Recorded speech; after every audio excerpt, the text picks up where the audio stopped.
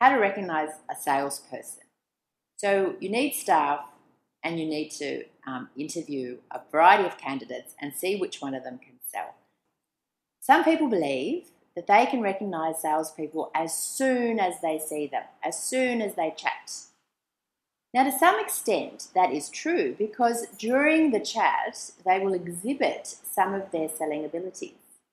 Certainly, they will exhibit their communications style. But whether that style is the right one for selling or not is harder to tell. So, being able to be a good communicator is a really small fraction of the equation for being able to sell.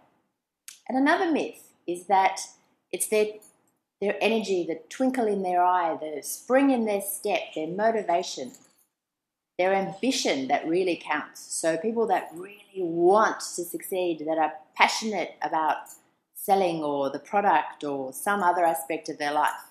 And this energy will exude when they are selling. This energy, may indeed exude when they are selling, but it isn't going to help them sell. So their energy levels is about how interested they are in selling or their product, which is certainly helpful.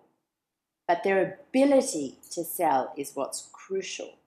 And there's a huge chasm between being interested in something and being able to do it. So I have a great passion for um, quantum physics and a whole bunch of engineering topics, but I'm never going to make an engineer.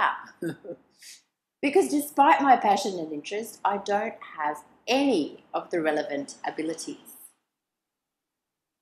So we have a sales test that identifies the 75 attributes which you can never see in an interview that allows people to sell.